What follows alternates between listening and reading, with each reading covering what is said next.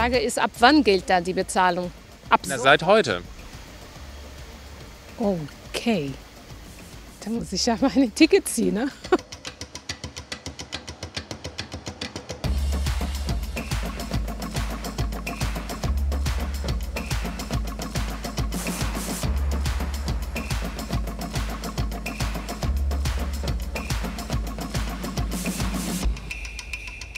Das ist für viele nicht mehr ertragbar.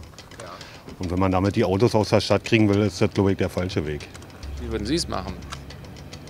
Vielleicht erstmal den Nahverkehr attraktiv gestalten, dass man sich darauf verlassen kann. Ich persönlich würde mit der S75 fahren müssen, die leider nie fährt.